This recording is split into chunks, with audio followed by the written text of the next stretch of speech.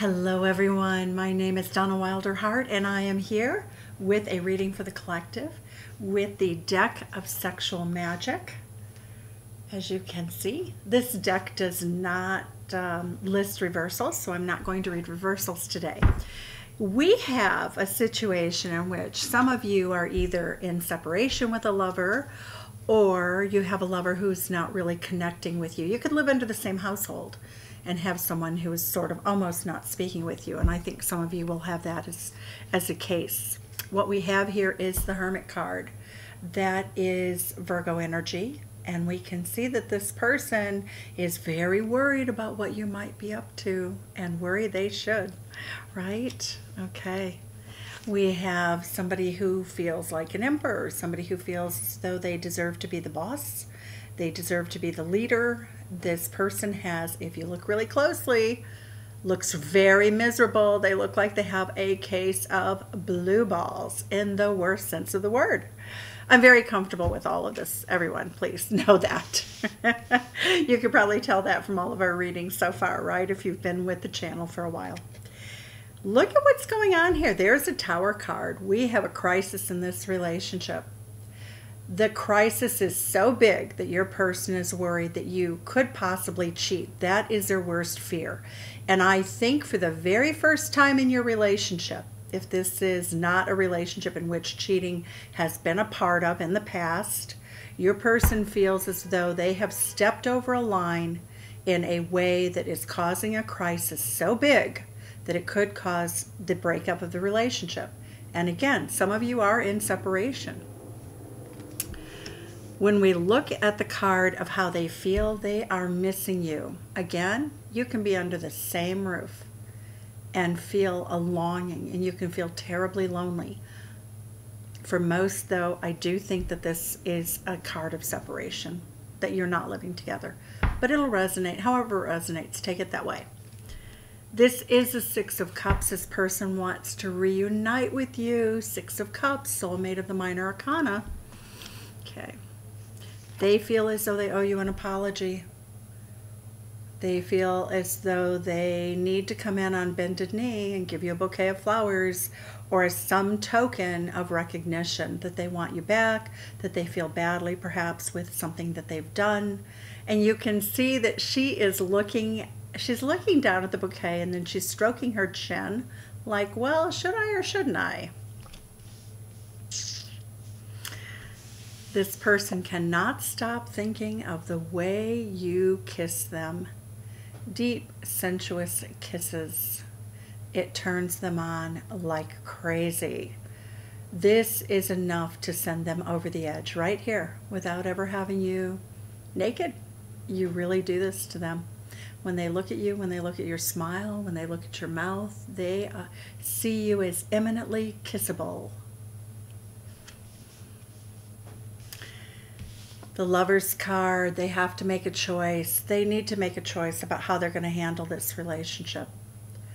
Because clearly they have broken your sense of trust, your sense of, you know, you don't know where you stand with them because of their behavior, but we're going to look at the issues here. So they do think that they do believe that you're a lover. If they did not see you as a soulmate in the past, they certainly do now. This person in the past has been very much about dominating you. It's their way or the highway, which is not terribly unusual with an Emperor card. You know, they're used to being the authority. They're accustomed to people sort of bow, bowing down to them. They find you incredibly sexy. They find, if you look at her face, she looks as though she's enjoying the domination. She has a look of passion. And so when we look at the way they see you as a kisser, you know, they see you as their lover, this is a card that's very, very powerful because it also looks as though other people are aware of a dynamic in your relationship.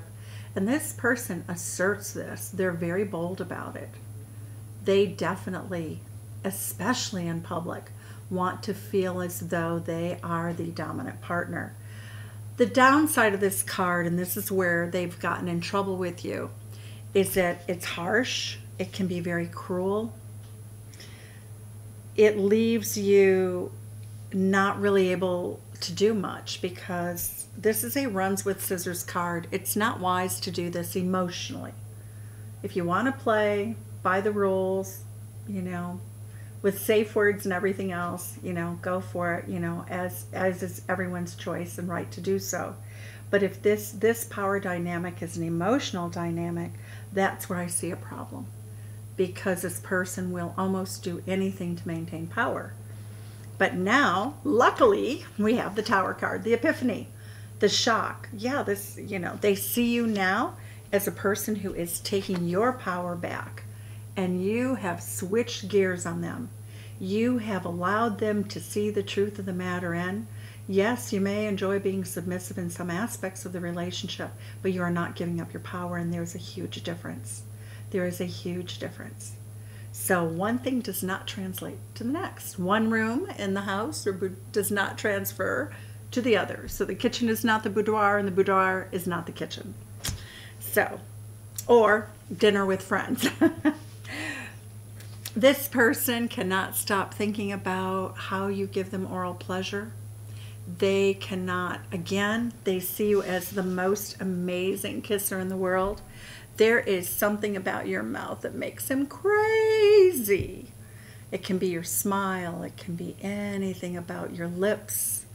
You might have tiny lips, you might have big lips. How whatever it is, this person yearns for this. They know that they need to get lucky. they want to get lucky with you. They know that for you to accept their apology, they're going to have to come in and they're going to have to give you something more much more gracious than what they've been giving you. And here we have the outcome card. Came in as the romantic Knight of Cups, coming in, looking at how ravishing you are, being very appreciative, and using the Wheel of Fortune for timing.